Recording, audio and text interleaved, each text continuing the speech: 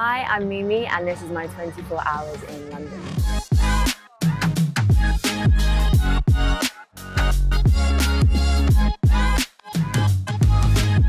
So I've just got ready to go to the shows. I am currently thinking about what questions I'm going to be asking the designers because I'll be catching up with them after the shows, you know, with all the other editors. We're all in close contact, you know, where's everyone going, what exhibitions are going on, what parties everyone's going to be at. I think because London's so small, it's such a tight community in the fashion world um, and everyone really supports each other.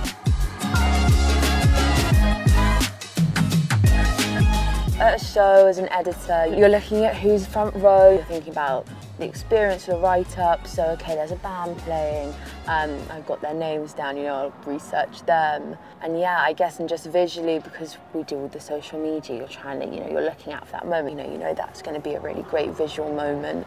And this is quite a big question, but what do you want to achieve in the fashion industry? For me, um, I wanted to keep telling the story. I wanted to tell a story about West Africa. And for me, fashion, I use it as a vehicle to tell the stories. We just did an interview, so I'm just uploading it now. You've got to be reactive, you've got to be on it with social media. There's such greatness in painting a whole story and the set and the music. I loved the Labrum. It was, it was an immersive experience, that's how it was described. And you know, it'll be interesting to see what Robyn does.